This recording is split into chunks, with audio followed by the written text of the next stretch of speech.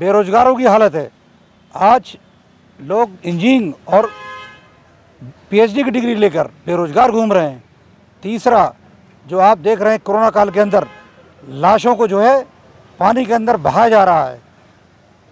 ऐसे तमाम मुद्दे हैं जो योगी सरकार पूरी तरीके से फेल रही है और हम लोगों ने जो कार्यकाल देखा था पिछला माननीय अखिलेश जी का, उसके अंदर पूरे जो प्रदेश के अंदर विकास आया, ऐसे हाईवे बने जो लखनऊ से दिल्ली तक आपको घंटों में पहुँचा देते थे।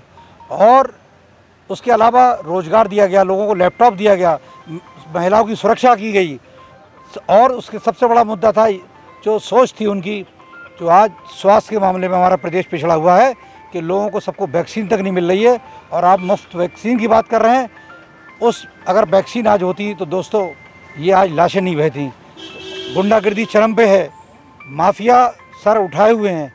अगर हम लोगों को सब जितने हमारे साथी आए थे, आज जितने भी मौजूदा प्रधान हैं, जिला पंचायत सदस्य हैं, और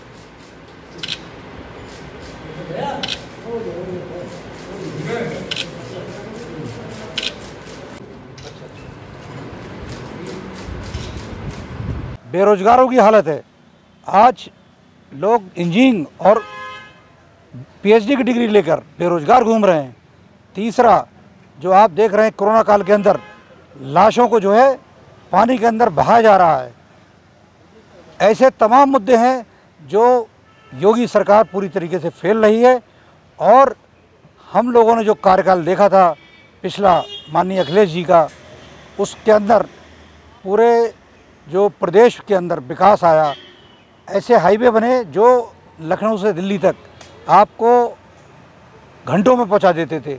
और उसके अलावा रोज़गार दिया गया, लोगों को लैपटॉप दिया गया, महिलाओं की सुरक्षा की गई।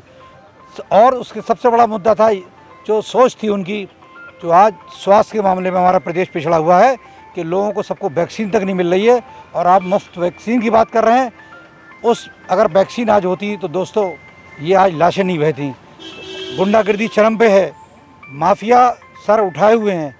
अगर हम लोगों को सब जितने हमारे साथी आए थे, आज जितने भी मौजूदा प्रधान हैं, जिला पंचायत सदस्य हैं